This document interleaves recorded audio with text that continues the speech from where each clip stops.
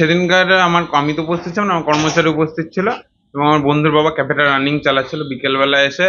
চল্লিশ পঞ্চাশ জন ছেলে মানে হই হট্টগোল করে এবং ক্যাফেটা ভেঙে দেওয়ার হুমকি দেয় এবং ক্যাফেটি বন্ধ করে দেন। তারপর? তারপর আমি তারপর তো আমি জানি না তারপর তারপর তো আমি মিউনিসিপ্যালিটিকে আবেদন জানাই ক্যাফেটা খুলে দেওয়ার জন্য। ক্যাফেটা তো তুমি টেন্ডার হিসাবে নিয়ে হ্যাঁ টেন্ডার হিসেবে নিয়েছি।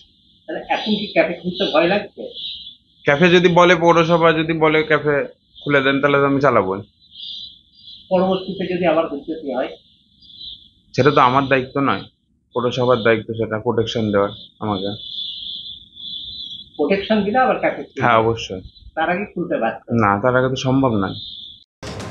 সোহম বিতর্কের মধ্যেই তৃণমূলের নতুন অস্বস্তি। কৃষ্ণনগরের তৃণমূল কাউন্সিলরের রীতিমতো দাদাগিরি। ক্যাফে লাগোয়া পার্ক জোর করে বন্ধ করে দেওয়ার অভিযোগ তৃণমূল কাউন্সিলর পলাশ দাসের বিরুদ্ধে।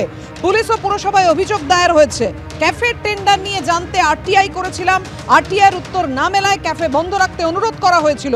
অভিযোগ অস্বীকার করে অভিযুক্ত তৃণমূল কাউন্সিলর এমনটাই দাবি করছেন যে ক্যাফের টেন্ডার নিয়ে জানতে আরটিআই করার দরুনই উত্তর না পাওয়ার জন্য তিনি ক্যাফে বন্ধ রাখতে অনুরোধ পেয়েছিলেন এবং সেই কারণেই ক্যাফে বন্ধ রেখেছিলেন এবং ক্যাফে সংলগ্ন পার্কও। কিন্তু তৃণমূল কাউন্সিলরের বিরুদ্ধে যে অভিযোগ উঠেছে যে জোর করে তিনি ক্যাফে এবং ক্যাফে সংলগ্ন পার্ক বন্ধ করে রেখেছেন, অর্থাৎ সোহম বিতর্কের মধ্যে এবার তৃণমূলের নতুন অস্বস্তি। তৃণমূল কাউন্সিলর পলাশ দাসের দাদাগিরি।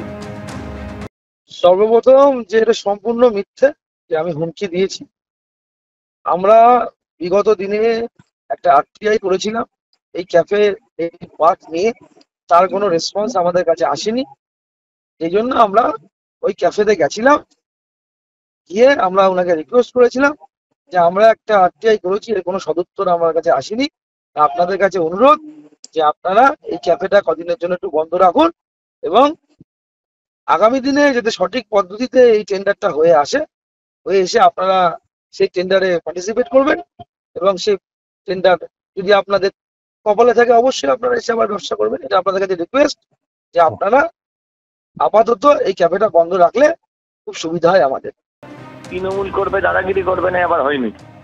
এখন ক্যাফেটা বন্ধ করেছে কিসের কারণে? টেন্ডার নিয়ে কোনো দুর্নীতি আছে সেটার কারণে? নাকি ক্যাফেটা বন্ধ করে ওখানে বারকাম রেস্টুরেন্ট চালু করতে চায় সেটার কোনোটাই আমাদের কাছে পরিষ্কার নয়। কিন্তু এটা বোঝা যাচ্ছে যে এখানে আইনের শাসন নেই কাউন্সিলর নিজের হাতে আইন তুলে নিচ্ছেন, এবং যেমন খুশি দাদাগিরি করছেন আবার দাদাগিরিটা কার ওপরে করছেন? নিজের দলের আরেক হয়তো কাউন্সিলর নিজের দলের পৌরসভা, তার ওপরে দাদাগিরি করছেন। অতএব মালের কাছে কোনো দল হয় না, এটা তৃণমূল আবার প্রমাণ করে দিয়েছে। হ্যাঁ এগুলো অত্যন্ত নিন্দনীয়। দেখুন, এদের কোনো এমএলএ কোনো রেস্টুরেন্টের মালিককে মারছে। হ্যাঁ দিয়ে তাকে সারাদিন দেখাচ্ছে। এরকম যদি এরকম দু একটা ক্যাফে ট্যাফে যদি বন্ধ না করে দেওয়া হয়, ওদের পাবলিসিটি হবে কি করে? এরকম পাবলিসিটি হলে বাজারে এরকম টিভিতে দেখালে তবে না ওদের দশ টাকার মালটা কুড়ি টাকা হবে ওদের তোলাবাজিটা।